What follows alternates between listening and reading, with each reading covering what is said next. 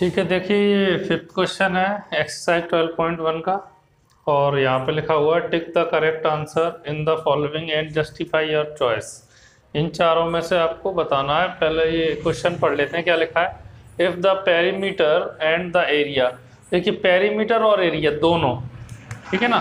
Perimeter and area of circle are numerically numerically equal मतलब ये कह रहे हैं कि पेरीमीटर और एरिया न्यूमेरिकली इक्वल हैं। फिर क्या कह रहे हैं then the radius of the circle is तब हमको ये बताना है कि सर्कल की जो रेडियस है आर वो कितनी है? ठीक है ना? तो हम क्या लिखेंगे सॉल्व में? अकॉर्डिंग टू क्वेश्चन क्वेश्चन के अनुसार ठीक है?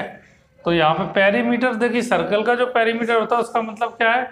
उसकी चारों तरफ़ की बाउंड्री यानी कि टू पाई आर यानी सरकमफ्रेंस जो इसका पेरीमीटर होता है सर्कल का, वो सरकमफ्रेंस ही होता है। ठीक है ना? तो यहाँ पे हम अकॉर्डिंग टू क्वेश्चन क्या लिखेंगे? टू पाई आर ये पेरीमीटर ऑफ़ सर्कल हो गया। पेरीमीटर मतलब सरकमफ्रेंस इसका ठीक है? और एरिया क्या होता है? पाई आर स्क्वायर ये न्यूमेरिकली इक्वल है, इसीलिए अकॉर्डिंग टू क्वेश्चन दोनों को इक्वल दिखा दिया आपने पाई से पाई कैंसिल हो जाएगा। तो two r equal two r square को हम आर इन टू आर लिख सकते हैं। आर से आर भी कैंसिल कर देंगे। तो ये आर इजकल टू टू आ गया। ठीक है ना? टू यूनिट यूनिट्स ठीक है? तो यहाँ पे ये ए आंसर आ गया इसका।